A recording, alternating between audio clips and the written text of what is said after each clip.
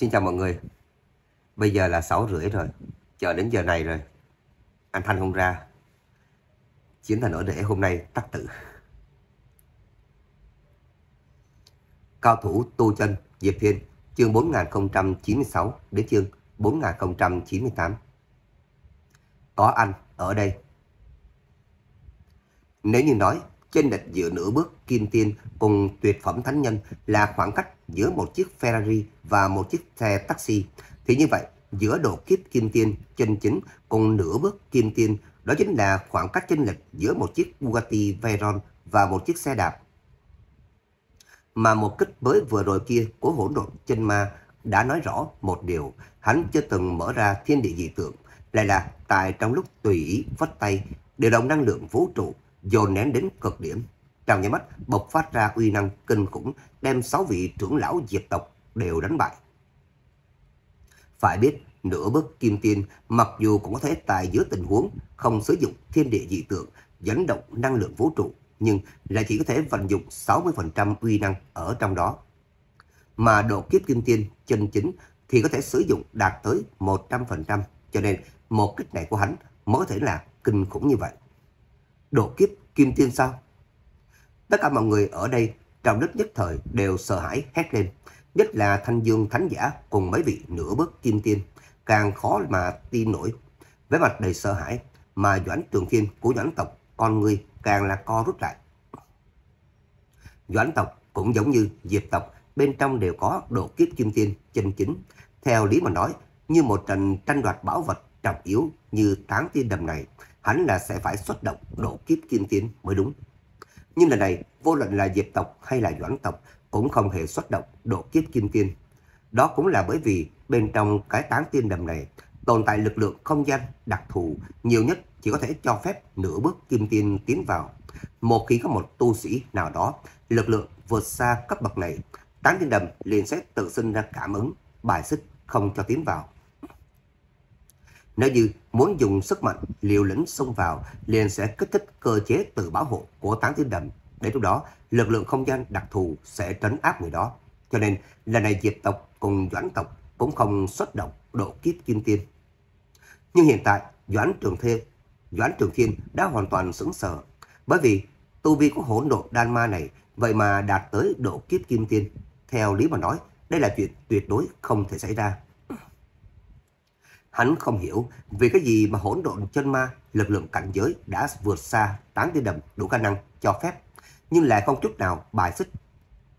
Mà hỗn độn đan ma một kích đem sáu vị trưởng lão đánh trọng thương, sau đó lắc lắc bàn tay, khóe miệng hiện ra một nụ cười.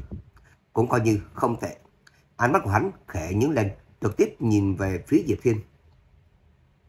Nếu như không phải lúc trước, người phóng ra một kiếm kia cùng công kích của hai tên giả gia hỏa bị ta thôn phệ hấp thu, còn thay ta làm rung động căn cơ phong ấn, thì ta muốn ra tới có lẽ còn phải cần thêm một khoảng thời gian. Như vậy, ba người các ngươi ngược lại là đã giúp ta rất nhiều. Diệp Thiên nghe vậy, đồng tử cũng là có chút ngưng lại. Hóa ra, hậu quả của vận lần va chạm kinh thiên động địa giữa anh và Đông Hoàng Thái Nhất, Mạc Thừa Phong, kích thích ra dư âm năng lượng đã gián tiếp trở thành cơ hội để hỗn độn đan ma phá bỏ phong ấn. Hiện tại, hỗn độn đan ma đã hoàn toàn thoát khỏi trói buộc, mà lại tại sau khi hấp thu Đông Hoàng Thứ Nhất cùng Mạc Thừa Phong, chân chính tiến vào cảnh giới độ kiếp kim tiên. Hiện tại, hỗn độn đan ma so với mấy chục vạn năm trước, không thể nghi ngờ, chắc chắn là đáng sợ hơn rất nhiều. Tất cả ánh mắt trong toàn trường đều hồi tụ tại trên thân hỗn độn đan ma ở phía trên không trung. Lần tranh đoạt bảo bối này, lúc ban đầu người mạnh nhất đều là nửa bước kim tiên, nhưng hỗn độn đan ma vừa xuất hiện lại là trong nháy mắt đem sự cân bằng vi diệu này phá vỡ. Nếu là đồ vật mà hỗn độn đa ma muốn, mọi người tại đây ai có thể cùng hắn tranh đoạt, ai dám cùng hắn tranh đoạt đây chứ?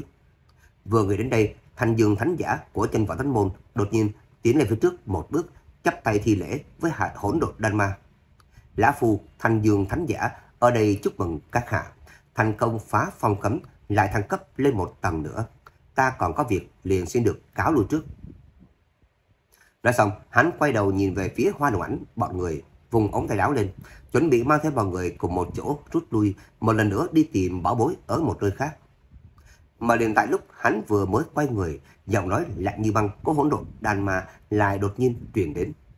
Ta lúc nào đã từng nói qua, các ngươi có thể rời đi rồi thế. Nghe được điều này, thanh dương thánh giả thân thể hơi run rẩy, ngơ ngác quay đầu lại, chỉ thấy hỗn độn đan ma nhếch miệng cười một tiếng, nụ cười rét lạnh. Hôm nay, tất cả mọi người tại cái táng tiên đầm này không thể còn sống sót mà rời khỏi đây. Để ăn mừng bản tôn phá phong ấn thoát ra, ta sẽ lấy máu tươi của tất cả mọi người, các người làm rễ bật. Tiếng nói vừa dứt, bàn tay hắn khẽ nhấc lên, hướng về phía thanh dương thánh nhã. Nhẹ nhàng, một chỉ điểm ra. Chỉ phòng khuấy động, trong hư không phát ra thanh âm trầm đục, chỉ thấy một luồng chỉ lực vô hình dung hợp với năng lượng vũ trụ, kéo ra một đường khí kình dài mấy ngàn mét, vọt thẳng về hướng Thanh Dương Thánh Giả đánh tới. Không tốt. Thanh Dương Thánh Giả vẻ mặt kinh hãi, chân lực lúc này chấn động mãnh liệt, đồng thời thân hình thật nhanh lùi lại, chỉ muốn tránh thoát một chỉ này. Nhưng hắn lùi cho dù nhanh thì một chỉ này tới càng nhanh hơn. Hắn chỉ là vừa mới có động tác lui về phía sau, đạo chí phong sắc bén kia cũng đã điểm trúng lần của hắn. Phập! Chân lực hộ thể cường mãnh của hắn lại tựa như tựa như cửa sổ bằng giấy, dễ dàng bị xuyên thủng. Chỉ phong trực tiếp từ ngực trái của hắn xuyên vào, xuyên thủng qua sau lưng của hắn. Hắn lúc này từ trong miệng phun ra một vòi máu, thần mang trong mắt cấp tốc ảm đạm đi. Hỗn độ đan ma một kích này thế mà đem trái tim của hắn toàn bộ đánh nát. Tiên thiên đạo thể vốn khổ tu trong vô số năm tháng, kim thần chí cường cũng là trong nhắm mắt bị hủy diệt.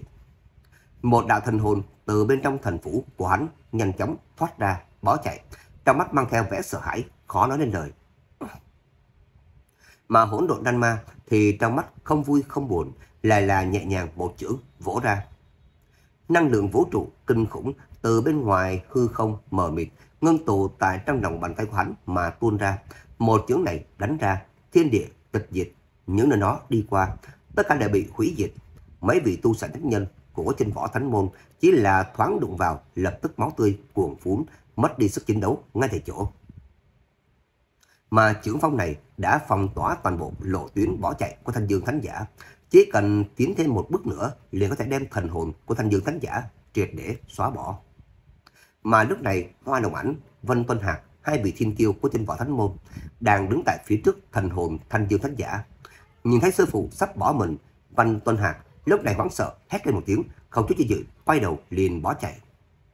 Hành động lần này của hắn, không ít cường giả tu sĩ xung quanh đều thấy rõ, thân sắc đều kịch biến. Vân Tuân Hạc chính là đệ tử đầu tiên dưới trướng Thanh Dương Thánh Giả, đệ nhất thiên kiêu của chân võ thánh môn.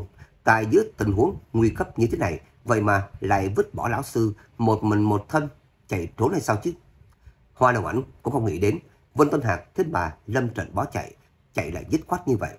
Nàng chỉ chần chờ một chút, sau một khắc chính là trực tiếp cất bước phóng lên phía trước, chủ động ngăn cản chưởng lực tựa như hủy dịch ở phía trước. Lão sư, người đi trước đi. Nàng khẽ thốt lên một tiếng, bàn tay khẽ nhấc. U Lan kiếm trong tay huyễn hóa thành một đóa hoa kiếm, mà một cánh tay khác của nàng thì xuất ra một cái la bàn ném vào hướng Thanh Dương Thánh Giả.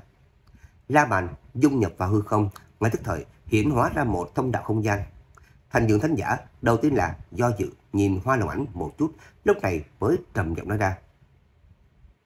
Tiểu ảnh, ngươi yên tâm, ngày sau vi sư chắc chắn sẽ báo thù cho ngươi.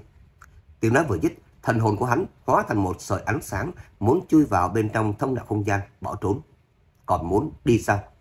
Nhưng liền sau đó một khắc, một bàn tay khổng lồ đã đánh ngang quét tới, năm ngón tay siết lại, vậy mà đã nắm giữ lối vào phía trên thông đạo không gian. Một tiếng vang giòn tan truyền ra, cơ lực khủng bố bùng phát. Thông đạo không gian vừa mới xuất hiện này đúng là bị bóp cho nát vụn. Lực lượng của vụ nổ đem thành hồn của thanh dương thánh giả đánh bay ngược ra đằng sau, trong mắt hắn tràn đầy kinh hãi. Người vừa xuất thủ chính là hỗn độn đan ma. Hắn nhìn cũng không nhìn thanh dương thánh giả một chút nào, ngược lại là xoay chuyển ánh mắt rơi vào trên thân hoa lòng ảnh. Nếu người đã đại khí như vậy, chịu vì lão sư mà hy sinh chính mình, vậy ta liền mở lòng tự bi, thành toàn cho ngươi. Khóe miệng của hắn nở nụ cười nhàn nhạt, nhạt, mà chiến lực che ngập bầu trời kia đã bước đến rất gần hoa lòng ảnh. Một cổ khí tức tử vong hoàn toàn bao trùm đến nàng. Phiêu! Nhưng là, và lúc này, phong lôi chi lực trong hư không bùng nổ, một thân ảnh lao ngang mà đến, kéo theo một vệt ánh sáng nhàn nhạt, nhạt. Sau đó, một bàn tay trắng nõn thon dài đã giữ tại trên cổ tay trắng mềm của Hoàng Lục Ảnh. Tiếng nói mang theo sự nhu hòa cũng theo đó mà truyền đến. Đừng lo lắng, có anh ở đây. Hết. Hôm nay có clip à?